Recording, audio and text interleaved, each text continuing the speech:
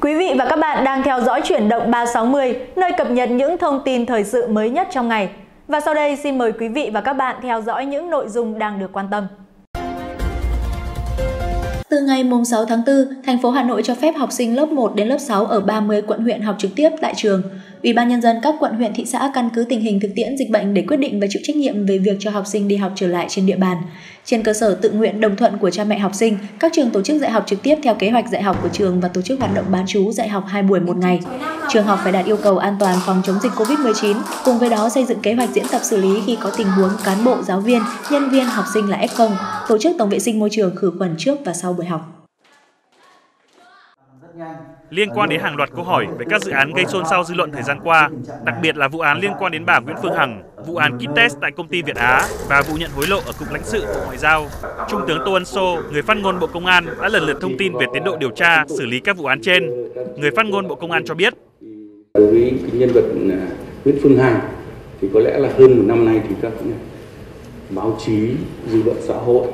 cộng đồng mạng thì cũng rất là sôi sục bàn tán về các cái vụ việc vào ngày 24 tháng 3 vừa qua thì công an thành phố Hồ Chí Minh đã khởi tố uh, Nguyễn Thị Phương về cái tội lợi dụng các quyền tự do dân chủ, xâm phạm lợi ích của nhà nước, quyền và lợi ích pháp của các tổ chức cá nhân được quy định tại điều 331 Bộ luật hình sự. Thì đến nay thì Bộ Công an đã chỉ đạo Công an thành phố Hồ Chí Minh tập trung lực lượng à, để mà ừ, điều tra làm rõ toàn bộ vụ việc và sớm đưa ra xét xử theo đúng quy định của pháp luật. Liên quan đến thông tin về vụ Việt Á, ông nhấn mạnh đã từng nhiều lần thông tin rất chi tiết về báo chí. Về vụ án nhận hối lộ ở Cục lãnh sự Bộ Ngoại giao, Trung tướng Tô Ân Sô cho hay cơ quan điều tra khẳng định có hành vi lợi dụng chính sách để trục lợi trong vụ án này. Hiện tất cả các bị can bị tạm giam đã bước đầu nhận tội và có thái độ hợp tác với cơ quan điều tra. Hoạt động của uh, các đối tượng trong cái vụ uh, án nhận hối lộ này thì hoạt động rất là tinh vi, số người tham gia đông, phạm vi rộng cả trong nước và ngoài nước, gồm một số cơ quan ban ngành từ trung ương đến địa phương xảy ra trong một thời gian dài và đặc biệt thời gian dài như thế sau khi tiến hành bắt giữ thì một số đối tượng đối phó rất là quyết liệt. Điều này đã làm ờ, dẫn đến là tương đối tốn thời gian trong công tác điều tra xác minh vụ việc. Người phát ngôn Bộ Công an cũng cho biết, hiện cơ quan điều tra đang mở rộng điều tra, tiếp tục làm việc với một số cơ quan, tổ chức, doanh nghiệp, địa phương có liên quan để làm rõ bản chất vụ việc. Thời gian tới sẽ có những bước đột phá mới trong vụ án này.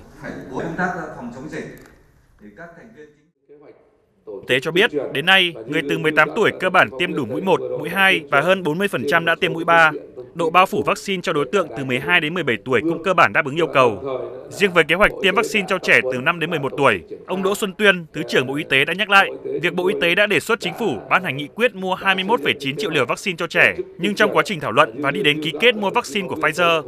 Bộ Y tế cũng đồng thời làm việc với Đại sứ quán Australia và Hà Lan về việc hỗ trợ vaccine tiêm cho trẻ. Vì thế, Bộ đang điều chỉnh phương án để trình chính phủ, Thủ tướng để vừa mua được vaccine, vừa tiếp nhận được cả vaccine viện trợ tiêm cho trẻ em. Bộ Y tế chúng tôi đã đã xây dựng cái kế hoạch tổ chức tuyên truyền và như như các đồng chí phóng viên thấy là vừa rồi đã tuyên truyền trên một số cái phương tiện thông tin đại chúng, kể cả đài truyền hình ờ, trung ương. Và đồng thời nữa là bộ y tế đã tập huấn và tổ chức triển khai ờ, cái cái cái kế hoạch cũng như cái kỹ thuật tiêm cho trẻ em từ 5 đến 11 tuổi để các địa phương có thể chủ động khi vaccine ờ, về Việt Nam thì có thể chúng ta triển khai được ngay. À, ngay chiều hôm qua thì chúng tôi đã làm việc với hai đơn vị, đó là làm việc với đại sứ quán của Úc tại Việt Nam và làm việc với tổng giám đốc của Pfizer tại Việt Nam. Thì cả hai đơn vị này đều thống nhất một cái phương án là đưa vaccine về Việt Nam trong cái thời gian nhanh nhất, à, sớm nhất có thể để chúng ta triển khai tiêm cho trẻ em. Liên quan đến vaccine Made in Việt Nam, Bộ Y tế cho biết hiện có 3 ứng cử viên gồm vaccine Nanocovax của công ty Nanogen, vaccine Covivac của Viện Vaccine và Sinh phẩm Y tế và vaccine ACRT-154, vaccine chuyển giao công nghệ từ Mỹ. Ông Đỗ Xuân Tuyên, Thứ trưởng Bộ Y tế khẳng định, vaccine Nanocovax đang thử nghiệm lâm sàng giai đoạn 3, đã được Hội đồng Đạo đức Quốc gia và Hội đồng Tư vấn cấp giấy đăng ký lưu hành thuốc, nguyên liệu làm thuốc, Hội đồng cấp phép họp xem xét. Vaccine Covivac đang được đánh giá ở giai đoạn 2, hoàn thiện đề cương và thử nghiệm lâm sàng giai đoạn 3. Còn vaccine ACRT-154 được đánh giá giữa kỳ giai đoạn 1, 2 và chuyển sang giai đoạn 3. Cụ thể, chiều Hà Nội đi Vinh, tàu NA1, tàu SE35, tàu NA3 và tàu NA7 sẽ được tăng cường với nhiều khung giờ xuất phát trong thời gian nghỉ lễ 30 tháng 4 1 tháng 5. Ở chiều ngược lại sẽ là các tàu NA2, SE36, NA4 và tàu NA8. Công ty cổ phần vận tải đường sắt Hà Nội cũng cho biết, trong dịp này sẽ tổ chức chạy tăng cường 3 mắc tàu tuyến Hà Nội Quảng Bình. Trước đó, Tổng công ty Đường sắt Việt Nam cũng cho biết từ 28 tháng 4 đến 4 tháng 5 năm 2022 sẽ tổ chức chạy tăng cường gần 50 đoàn tàu khách trên các tuyến đáp ứng đủ nhu cầu khách du lịch đông trong kỳ nghỉ lễ 30 tháng 4 và 1 tháng 5. Thông tin từ Ban Quản lý Khu di tích lịch sử Đền Hùng cho biết, hiện các công tác chuẩn bị dỗ tổ Hùng Vương năm 2022 đã cơ bản hoàn tất, bao gồm các hoạt động phần lễ và phần hội. Cụ thể ở phần lễ sẽ gồm lễ dỗ Đức Quốc Tổ Lạc Long Quân và lễ dân hương tưởng niệm Tổ mẫu Âu Cơ ngày 6 tháng 3 âm lịch, lễ dân hương tưởng niệm các vua hùng ngày 10 tháng 3 âm lịch và lễ dân hoa tại bức phù điêu Bác Hồ nói chuyện với cán bộ chiến sĩ đại đoàn quân tiên phong. Trong khi đó, phần hội bao gồm 12 nội dung với nhiều hoạt động truyền thống như biểu diễn đánh trống đồng, đâm đuống vào ngày 6 tháng 3 âm lịch, hội thi gói nấu bánh trưng và giã bánh dày tỉnh Phú Thọ vào ngày 8 tháng 3 âm lịch. Đặc biệt, chương trình nghệ thuật phục vụ dỗ tổ Hùng Vương gắn với kỷ niệm 10 năm UNESCO công nhận tín ngưỡng thờ cúng Hùng Vương ở Phú Thọ sẽ được diễn ra vào tối ngày 9 tháng 3 âm lịch. Ngoài ra, khu di tích lịch sử Đền Hùng sẽ thực hiện trưng bày chuyên đề tín ngưỡng thờ cúng Hùng Vương, hội tụ và lan tỏa. Trước diễn biến phức tạp của dịch Covid-19, thực hiện chỉ đạo của Chính phủ, năm 2020, Bộ Tài chính đã trình Chính phủ trình Ủy ban Thường vụ Quốc hội ban hành hai nghị quyết quy định giảm 30% mức thuế bảo vệ môi trường đối với nhiên liệu bay. Để tiếp tục hỗ trợ cho ngành hàng không phục hồi và phát triển, trên cơ sở đánh giá hiệu quả tác động của hai nghị quyết nêu trên, Bộ Tài chính đã báo cáo Chính phủ trình Ủy ban Thường vụ Quốc hội ban hành nghị quyết số 13/2021. Cụ thể, tại nghị quyết số 13 đã tăng mức giảm thuế bảo vệ môi trường với nhiên liệu bay từ 30 lên 50% và thời gian giảm được thực hiện cho đến hết năm 2022. Sở Giáo dục Đào tạo Hà Nội vừa có văn bản gửi các phòng giáo dục đào tạo, các đơn vị cơ sở giáo dục trực thuộc về việc nghỉ lễ dỗ tổ Hùng Vương dịp lễ 30 tháng 4 và mùng 1 tháng 5. Cụ thể, trong dịp lễ dỗ tổ Hùng Vương, cán bộ, giáo viên, nhân viên và học sinh của các đơn vị nhà trường trên địa bàn thành phố được nghỉ bù ngày thứ hai, tức là ngày 11 tháng 4, do ngày mùng 10 tháng 4, tức ngày dỗ tổ mùng 10 tháng 3 âm lịch là chủ nhật. Đối với dịp lễ 30 tháng 4 và mùng 1 tháng 5, các đơn vị nhà trường thực hiện nghỉ bù 2 ngày, gồm 2 ngày, mùng 3 tháng 5 do ngày 30 tháng 4 và mùng 1 tháng 5, trùng vào thứ Bảy và Chủ nhật. Như vậy, học sinh Hà Nội sẽ được nghỉ 3 ngày dịp lễ dỗ tổ Hùng Vương và 4 ngày dịp lễ 30 tháng 4, mùng 1 tháng 5. Thông tin từ Bộ Y tế cho biết, dự kiến từ ngày 15 tháng 4, người dân đã tiêm chủng khai báo chính xác thông tin và đã được các cơ sở tiêm chủng nhập dữ liệu trên hệ thống tiêm chủng, xác thực đúng thông tin với cơ sở dữ liệu quốc gia về dân cư sẽ được cấp hộ chiếu vaccine. Hộ chiếu vaccine sẽ được hiển thị trên ứng dụng sổ sức khỏe điện tử BC Covid hoặc tra cứu trên cổng thông tin điện tử của Bộ Y tế. Đối với những người dân chưa được cấp hộ chiếu vaccine là do thiếu sai thông tin thì cần liên hệ với cơ sở tiêm chủng để được bổ sung cập nhật. Tiếp sau đây xin mời quý vị và các bạn theo dõi những tin tức quốc tế. Hãng tin TASS dẫn phát biểu của đại sứ Nga tại Thổ Nhĩ Kỳ Alexei Yekhov, trong đó khẳng định vai trò của Thổ Nhĩ Kỳ trong việc tạo thuận lợi cho hòa đàm giữa Nga và Ukraine, và đây cũng là lý do mà hai bên nhất trí sẽ tiếp tục tổ chức đàm phán trực tiếp tại Thổ Nhĩ Kỳ. Bên cạnh đó, ông Yekhov cũng cho rằng không nên mong chờ các vấn đề tồn động trong đàm phán có thể được giải quyết trong thời gian ngắn. Trong khi đó, giới phân tích cũng đánh giá có hai nguyên nhân khiến Nga và Ukraine lựa chọn Thổ Nhĩ Kỳ làm địa điểm tổ chức đàm phán. Theo đó, xung đột tại Ukraine có ảnh hưởng quan trọng tới khu vực Biển Đen, nơi Thổ Nhĩ Kỳ có nhiều lợi ích. Bên cạnh đó, dù là thành viên tổ chức Hiệp ước Bắc Đại Tây Dương NATO, song Thổ Nhĩ Kỳ không tham gia trừng phạt Nga, qua đó cho thấy sự trung lập của Ankara trong vấn đề Ukraine. Tổng thống Gotabaya Rajapaksa đã yêu cầu tất cả các đảng phái chính trị trong quốc hội nỗ lực tìm kiếm các giải pháp cho cuộc khủng hoảng trong nước hiện nay. Theo ông, hiện là lúc các bên cần tìm giải pháp cho cuộc khủng hoảng sâu sắc vì lợi ích của mọi người dân. Tuyên bố được đưa ra sau khi 26 bộ trưởng trong chính phủ Sri Lanka đồng loạt đệ đơn từ chức tại một phiên họp vào đêm mùng 3 tháng 4 và thống đốc ngân hàng trung ương cũng có động thái tương tự sau đó. Hôm 2 tháng 4, chính quyền Sri Lanka đã áp đặt lệnh giới nghiêm 3 ngày trên toàn quốc sau khi các cuộc biểu tình lớn nổ ra ở thủ đô Colombo do người dân bất bình với những nỗ lực của chính phủ trong việc đối phó với cuộc khủng hoảng kinh tế kéo dài 3 năm qua. Hiện Sri Lanka đang trải qua cuộc khủng hoảng kinh tế tồi tệ nhất kể từ năm 1948 do thiếu ngoại tệ trầm trọng để nhập khẩu các mặt hàng thiết yếu. Tình hình càng trở nên căng thẳng trong những ngày gần đây do thiếu nhiên liệu. Theo Bộ Tư pháp Hàn Quốc, nước này có kế hoạch giúp các ngành công nghiệp địa phương bị thiếu hụt nhân lực, chẳng hạn như chế biến cá, trong nửa cuối năm nay bằng việc sử dụng lao động nhập cư.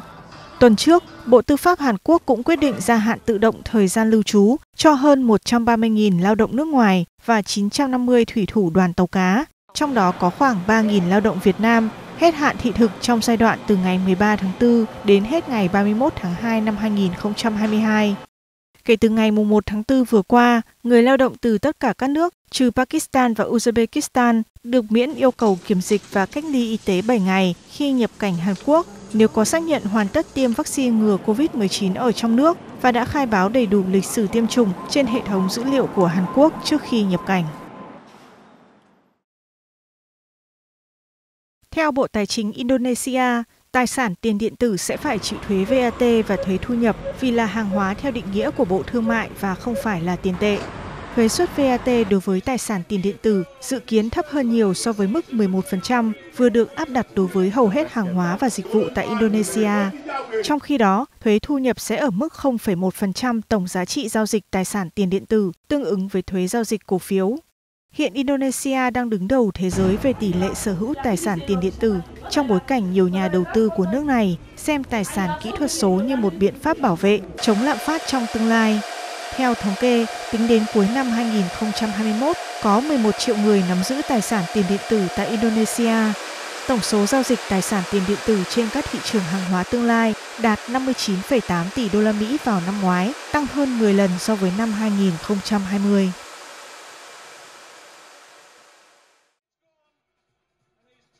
Theo khảo sát được công ty giao dịch tiền kỹ thuật số Gemini thực hiện từ tháng 11 năm 2021 đến tháng 2 năm 2022 đối với gần 30.000 người ở 20 quốc gia cho thấy gần 50% chủ sở hữu tiền điện tử ở Mỹ, Mỹ Latin và châu Á Thái Bình Dương đã mua tài sản kỹ thuật số lần đầu tiên vào năm 2021. Trong số này, Brazil và Indonesia dẫn đầu thế giới về sử dụng tiền điện tử, với 41% người tham gia khảo sát ở hai nước trên thông báo sở hữu tiền điện tử. Tiền này ở Mỹ là 20%, trong khi ở Anh là 18%. Bên cạnh đó, những người hiện không sở hữu tiền điện tử và sống ở các nước chứng kiến đồng nội tệ giảm so với đô la Mỹ để ngỏ khả năng cao gấp 5 lần đối với việc mua tiền điện tử và coi đó như là một biện pháp chống lạm phát tăng. Đã biến động không ngừng trong năm qua, tháng 11 năm 2021, giá trị đồng Bitcoin đã tăng lên mức cao nhất từ trước tới nay, tới hơn 68.000 đô la Mỹ, nâng tổng giá trị thị trường tiền điện tử toàn cầu lên 3.000 tỷ đô la Mỹ. Trong bối cảnh thị trường năng lượng bị tác động nghiêm trọng từ cuộc chiến tại Ukraine, giới phân tích cho rằng cuốn cẩm nang mới nhất này của Ủy ban Liên Chính phủ của Liên Hợp Quốc về biến đổi khí hậu, gọi tắt là IPCC, là kênh quan trọng cho các nước trong việc nhanh chóng tìm nguồn cung năng lượng tránh phụ thuộc vào Nga. Tuy vậy, thực hiện được các giải pháp trong cuốn cẩm nang này cũng còn nhiều trở ngại vì nó đụng chạm đến mọi lĩnh vực của đời sống và cần phải có sự đầu tư đầy đủ. IPCC sẽ phải cụ thể hóa nhu cầu chuyển đổi sang các nguồn cung và lĩnh vực năng lượng khác, cũng như đối với các đô thị, hệ thống giao thông và lương thực. Quấn Cẩm nang cũng cảnh báo rằng để cứu thế giới thoát khỏi tình trạng nóng lên toàn cầu hiện nay thì các giải pháp cắt giảm khí CO2 chưa đủ. Trong khi đó, các công nghệ xử lý vấn đề này cần phải nhiều hơn nữa. Đây cũng là cuốn cẩm nang thứ ba về chống biến đổi khí hậu được Liên Hợp Quốc đưa ra trong thời gian gần đây. Quyết định nới lỏng giới hạn tụ tập riêng tư, cho phép tối đa đến 10 người thay vì 8 người và kéo dài thời gian kinh doanh của các cơ sở ăn uống như nhà hàng và quán cà phê đến nửa đêm. Tuy nhiên, nhiều chủ doanh nghiệp muốn chính phủ sớm dỡ bỏ hoàn toàn mọi lệnh cấm và các hạn chế phòng dịch khác đã áp dụng trong gần 2 năm qua. Một số ý kiến cũng cho rằng cần bỏ hình thức làm việc từ xa các quan chức y tế cho biết việc xem xét dỡ bỏ hoàn toàn các biện pháp giãn cách phòng dịch căn cứ trên tỷ lệ bao phủ tiêm chủng đối với các nhóm đối tượng, tỷ lệ ca bệnh nặng và tỷ lệ tử vong được kiểm soát ổn định. Hàn Quốc cũng đảm bảo đủ thuốc điều trị kháng viêm và điều trị khẩn cấp cho các bệnh nhân mắc COVID-19.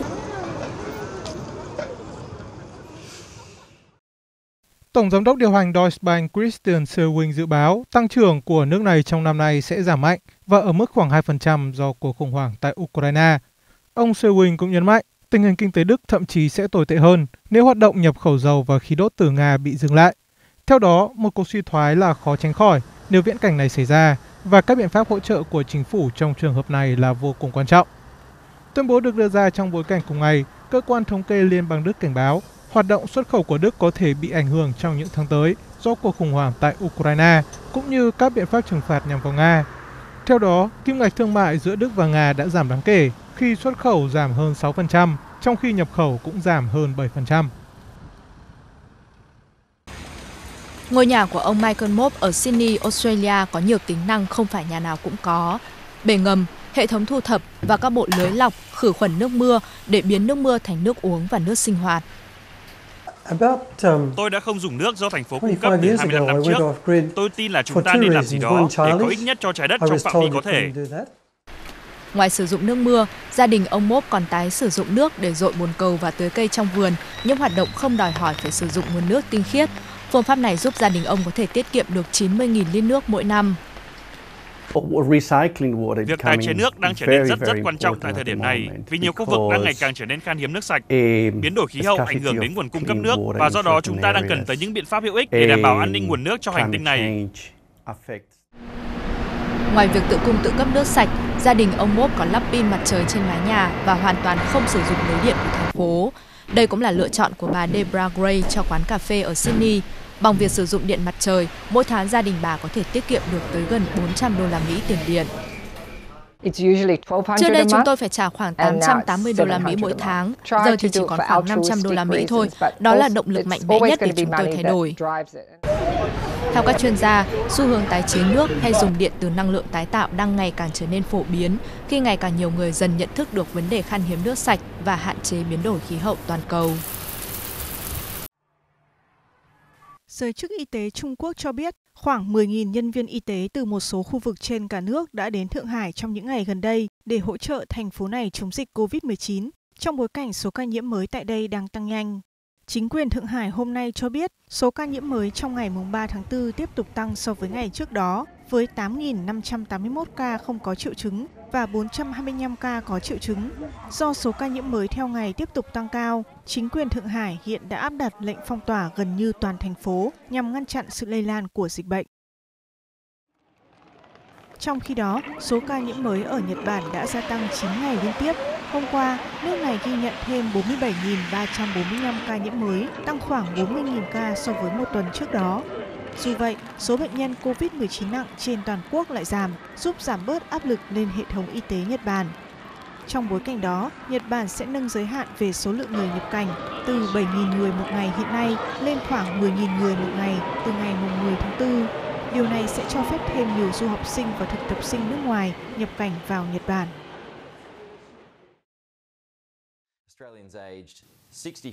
Sáng ngày 4 tháng 4, điểm tiêm chủng được thiết lập ở trung tâm thể thao Sydney Olympic Park đã chính thức mở cửa đón những người đầu tiên đến tiêm mũi vaccine ngừa COVID-19 thứ tư. Để được cấp phép tiêm mũi vaccine thứ tư, người đăng ký phải là những người từ 65 tuổi trở lên, người Australia bản địa trên 50 tuổi, những người đang công tác tại các sở chăm sóc người già và người khuyết tật, cùng những người trên 16 tuổi được xác định là suy giảm hệ miễn dịch sẽ đủ điều kiện để tiêm liều vaccine ngừa COVID-19 thứ tư, hay còn gọi là liều vaccine mùa đông vào 4 tháng sau lần tiêm liều vaccine tăng cường thứ ba. Giới chức y tế nước này lo ngại rằng dịch bệnh sẽ còn diễn biến phức tạp hơn nữa trong bối cảnh quốc gia ở châu Đại Dương đang bước vào mùa đông với dịch cúm mùa nghiêm trọng thường xuyên xuất hiện. Đây cũng có thể là khởi đầu mới của chương trình tiêm vaccine ngừa COVID-19 hàng năm tại Australia. Trước đó thì để cập nhật những thay đổi mới phù hợp hơn với tình hình dịch bệnh, chính phủ Australia đã chuyển định nghĩa tiêm chủng đầy đủ vaccine ngừa COVID-19 sang khái niệm cập nhật tiêm chủng với việc ban hành định nghĩa mới như vậy thì giới chức Australia kỳ vọng sẽ loại bỏ cách thức đánh số các liều vaccine ngừa COVID-19 và chuẩn bị cho việc đưa vấn đề này trở thành một hoạt động tiêm chủng định kỳ thông thường hàng năm. Cuộc thăm dò dư luận của INSA cho biết 63% trong số hơn 1.000 người được hỏi vẫn chọn duy trì đeo khẩu trang khi đi siêu thị, mặc dù đây không còn là quy định bắt buộc ở hầu hết các bang. Chỉ 29% nói rằng họ không muốn đeo khẩu trang và 8% từ chối trả lời. Tốc độ lây nhiễm COVID-19 tại Đức đã giảm trong vài ngày qua, nhưng vẫn ở mức cao. Một số quan điểm khác cho rằng kết thúc các biện pháp chống dịch tại thời điểm này là quá sớm. Một số quan chức trong Quốc hội Đức cũng ủng hộ việc duy trì quy định đeo khẩu trang khi số ca nhiễm mới hiện nay vẫn còn cao.